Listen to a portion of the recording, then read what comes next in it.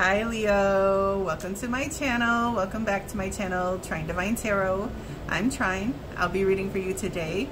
Please don't forget to like, share, and subscribe to my channel. I greatly appreciate that. Don't forget to hit that notification bell. It lets you know every time I upload a video. Okay, let's get right into your reading. How y'all doing? Missed you guys. Um, I'm doing a little something different uh, today because I just felt compelled to do it. I pulled from my own deck and I'm going to read you the cards that came out for you, okay? So let's see. These are the cards that wanted to come out. Some came out three at a time. That's why there's, you know, I usually do four, but here we go. We have beauty interest, beauty industry that wanted to come out, okay? So you might be changing your look.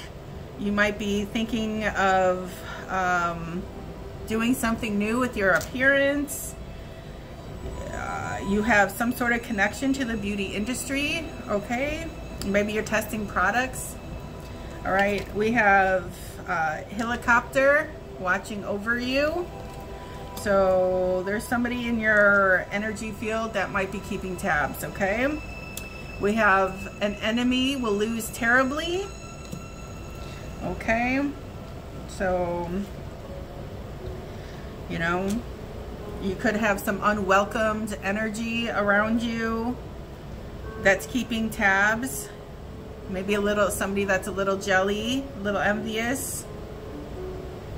Or you crossed them or they crossed you. I don't know. But there's someone lurking. All right. And then it says right here, the future looks bright. Brand new beginnings, happiness, joy on the horizon. Congrats, you made it. All right, so uh, you may have gone through like a little difficult patch, but I see that you're making it out alive and you're going to thrive, all right? So I feel like a blessing is right around the corner. All right, and then we have uh, quiet things that no one ever knows. So maybe you receive some good news or it says the future looks bright.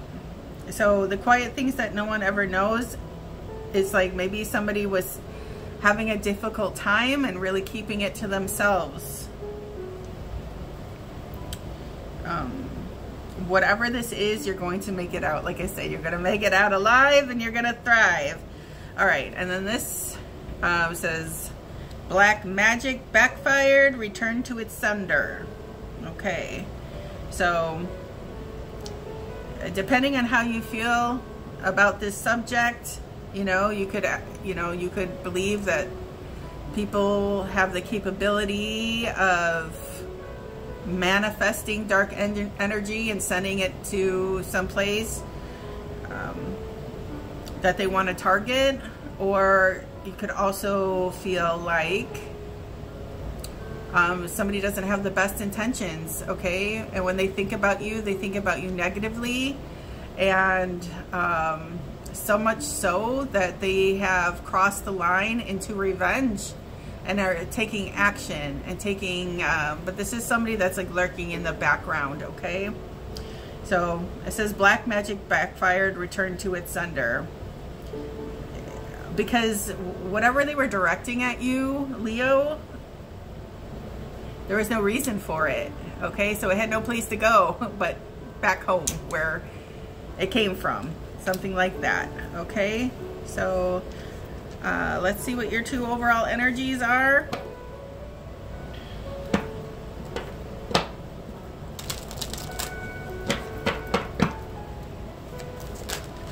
Or I have to say it, Leo, you tried to cast something against somebody for whatever reason and it backfired, okay?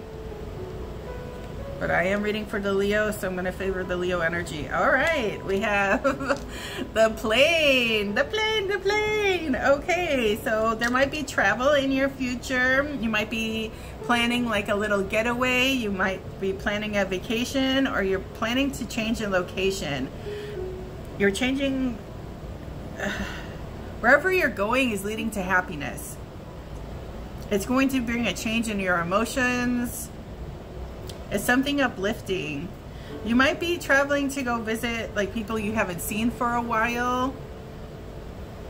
why am I also feeling you're going back home? And if you're not going back home, you're just,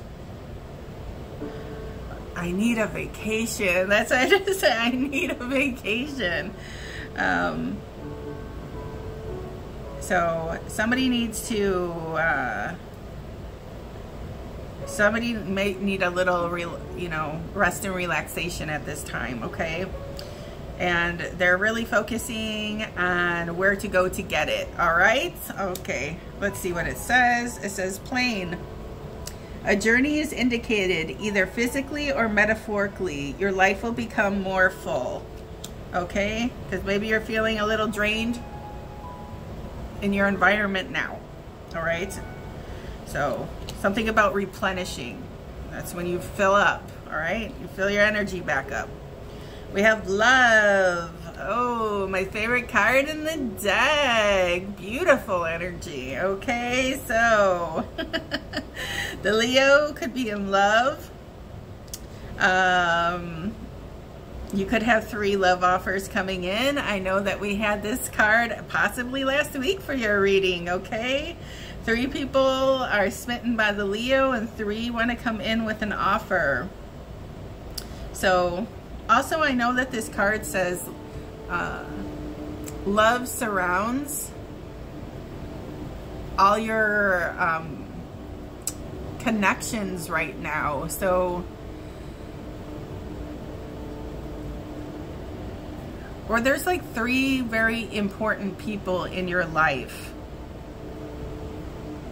that's really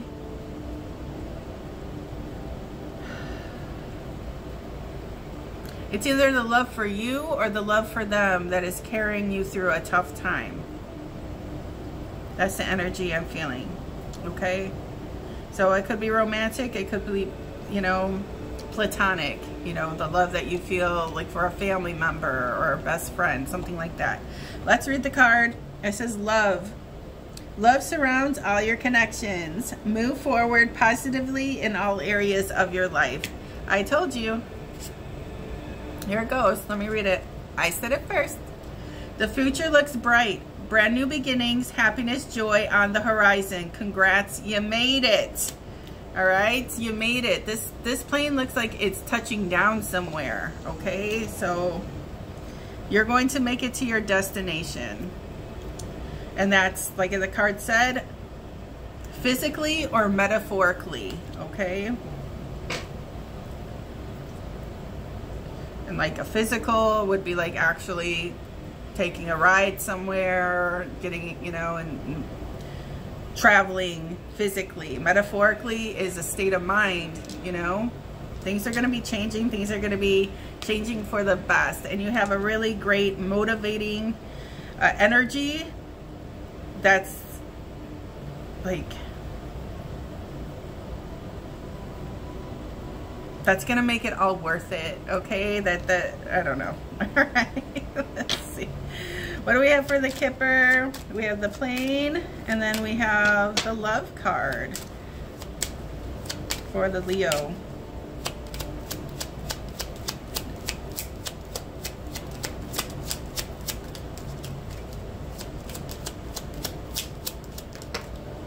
Oh, I told you a love offer and you might have a choice between two or three. Okay, someone, and look at, she's holding the rose. I fucking told you. There's three love offers on this card with three roses, okay? One you already says, nah, put them in the friend zone. put her in the friend zone, okay, with the white roses in the background.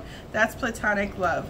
Um, but then the other card that came out with this is Daddy Shark, okay? Your official person. Your official person wants to come in and present their rose.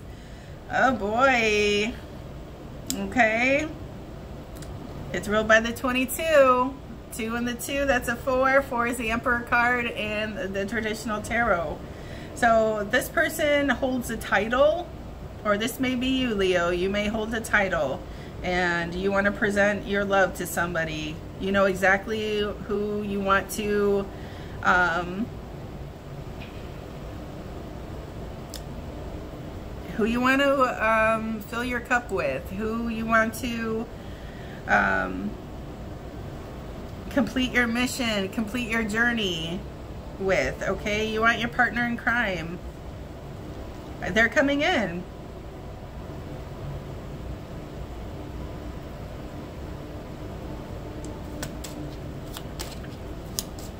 More on this official person for the Leo.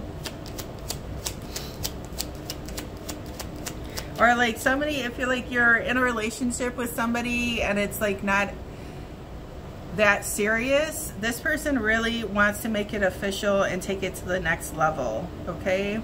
Like they want to make an announcement. They want to say, when they introduce you, they want to say, you know, I'm engaged to so-and-so, or this is my boyfriend, girlfriend, so-and-so, or this is my wifey, my husband, so-and-so, okay? This is a person that wants to commit to one person. All right. For the Leo.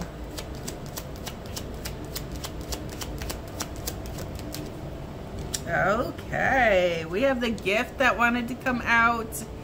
So, oh, there's the red thread. All right, make it official. Somebody, if you're in connection with somebody, somebody might want to propose. There's that little box. We usually know what's inside there, but there's that red thread. The red thread is that thread that ties us together with our soulmates from past lives, from lifetimes ago, okay? And somebody wants to present somebody with an opportunity. Somebody's very excited to do this. There's a lot of passion. There's a lot of love. They're all heated up, ready to go with the fireplace.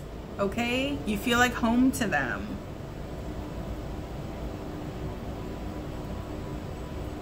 That's your energy, Leo. You ruled the fire. So there's something like about you that's like warm and inviting. They like your energy. They like your drive. Everything that the fire stands for, okay? um, and here is the light source that's also in this picture.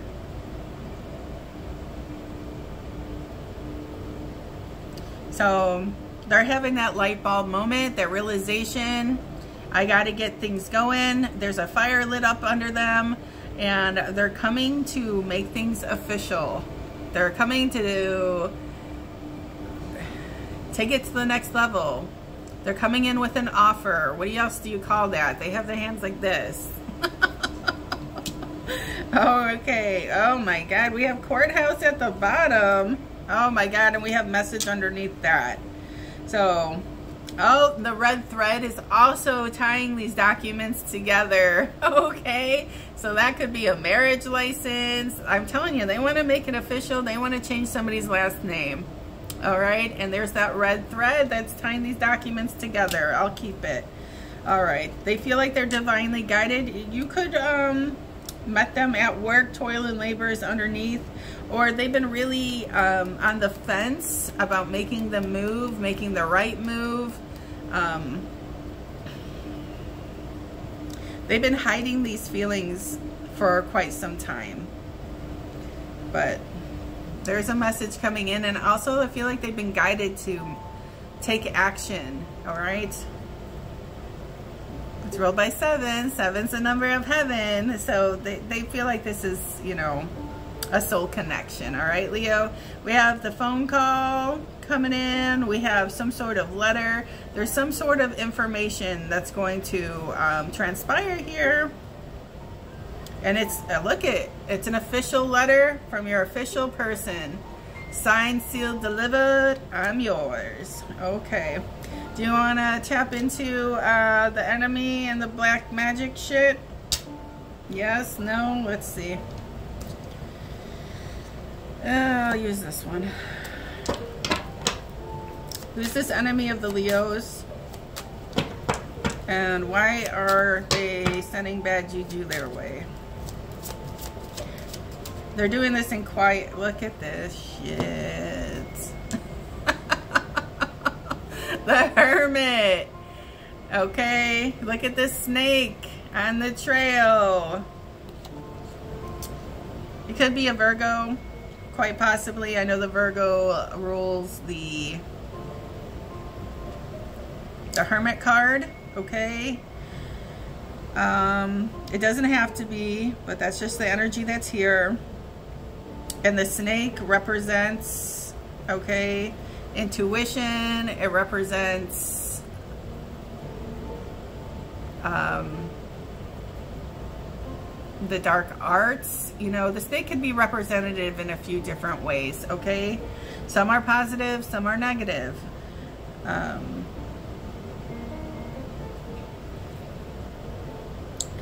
okay.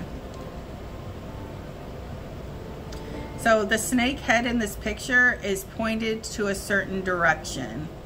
So somebody was trying to conjure something, some sort of, something to stall you, something to cause delay, possibly an illness, because I know that the snake represents our medical field, okay? The, the venom, but also the remedy. Somebody was trying to project something, okay? And they have a wand. I don't know if this is a masculine energy trying to project something, but you may have intuitively felt this, okay? Or they're trying to send a spook to your house or to your location.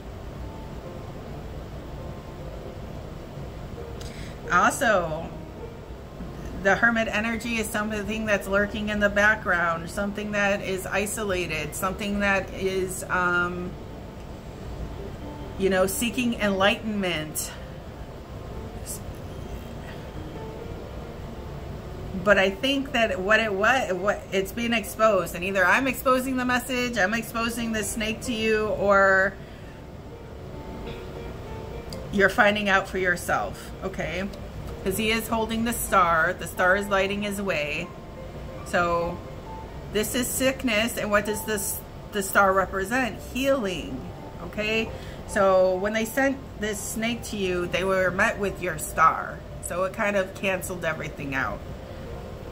But what this person wasn't intending is that it went back to them. So if you're getting, I don't know, somebody might be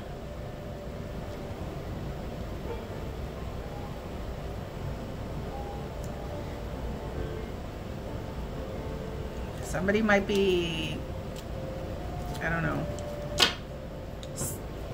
go it I don't know Reaping what they sow is what I want to, what wants to come out, okay? So if they were trying to send you bad juju, that's what they're experiencing. And they it might come out in an illness or something like that. All right, let's go. Okay.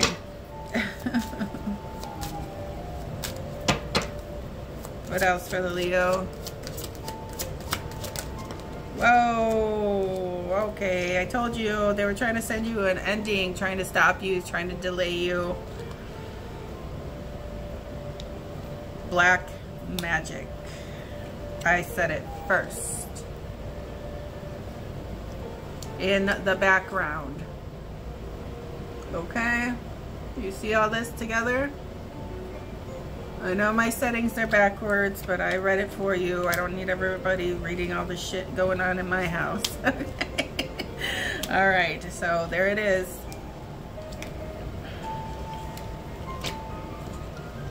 This is somebody that's doing the shit in the background, and you've had that energy before, okay? And it could be coming from a masculine, because it is representing a masculine in this picture. I'll ask one more time. Who's sending the Leo this, this energy?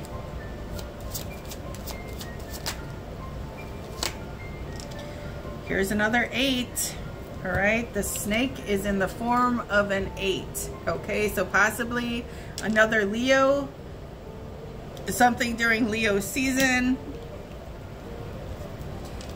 Somebody that works with you. Here's a rat that's on the table. Rats, what do they do? They carry disease. They carry infection. They brought the Black Plague okay.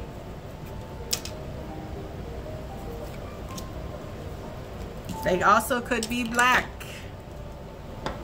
Quite possibly, they don't have to be. But somebody's trying to in, infect you or delay you from your job or doing your purpose or getting in the way, causing a distraction, causing a delay from you making money, from you being successful. This is somebody that's jealous. They're so overridden or overriding with, with jealousy that I feel like they've made other attempts, other ways. Now they feel powerless. So now they want to feel like they have some sort of advantage, some sort of power. And they did it in uh, with Google. You know, Googled some, and they don't know what they're doing, and they just called a, a spook to them. So now I feel like this person is being haunted. Archangel Michael at the bottom. That's what's going on. Okay?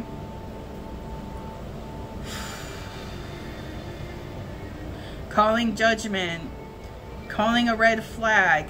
Getting your attention. You see it, there's all these little spooks flying around him. Okay? Those are spirits. Alrighty.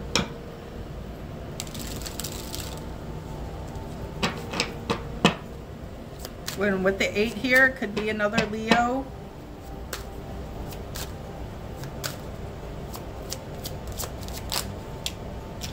Or, you know, Leo runs into Virgo season, all right? Sometimes you guys, your energies are, um, sometimes you mesh, mesh together. Sometimes I can convert, um, I can confuse, um, Virgo energy and Leo together because you guys are so, because I've met some Virgos that are very fiery and I've,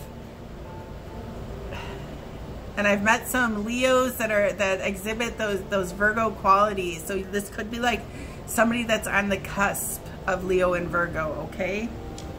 Yeah, here it is again. I'm getting chills. I've got chills up my legs and I got chills on my arms. I don't know if you can see okay? Stay prayed up at this time. This is somebody that has, they, uh, so that's this, this is somebody that's obsessed with you, with what you're doing. Um, they created this for themselves. They've created this obsession. They've created this attachment. And somehow they've created some sort of blaming game with you as well. Could be dealing with a Capricorn. Um, but I said they did this because they wanted to be, they wanted to feel powerful, like they had some sort of advantage, that they had some sort of power. Because whatever things they tried to do in the past weren't working. This is somebody that